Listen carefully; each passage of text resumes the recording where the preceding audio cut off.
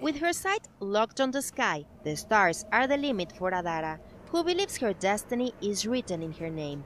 Mi papá navegaba mucho y... My dad surfed a lot and wanted to name me Adhara because he saw that star. The omen was fulfilled and the cosmos became this little girl's passion. Y los agujeros negros están hechos Black holes are made of galaxy stars that are exploited.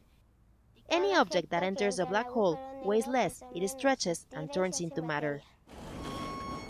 Though at first sight, Adhara is a seven year old who enjoys rollerblading and watching cartoons, tests reveal she has an IQ of 162. She is a gifted child. Aprendió a leer ah. She learned to read very quickly at three years old. She is self taught. She searches how to learn algebra on videos. She graduated elementary school at five and a half and at seven from high school. She has started college majoring in industrial engineering. Yo quiero ser una astronauta. I want to be an astronaut because I am going to research more on black holes.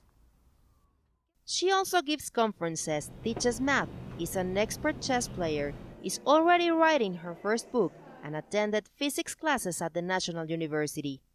Ahí hizo el curso de ondas gravitacionales. There she took courses on gravitational waves, observational astronomy, and did a University of Massachusetts course on beautiful patterns that are mathematical patterns.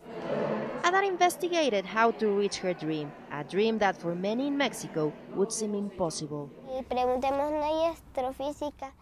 Here there was no astrophysics, so I saw on the internet where I could study astrophysics, and Arizona came out. Salió en Arizona. Y Adhara nos puede ayudar. Adhara can help us all to realize that science is closer. cuenta de que It is not a thing for adult scientists, but it is a no es una children's thing too.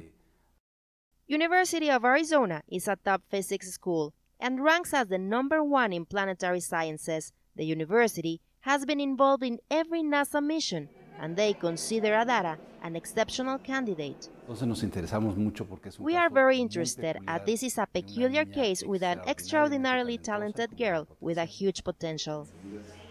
With the scholarships from the university and foundations, she could join the University of Arizona next year, becoming their youngest student.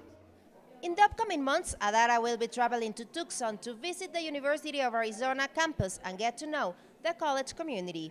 In Mexico City, Paulina Gomez Bulshiner, UNews.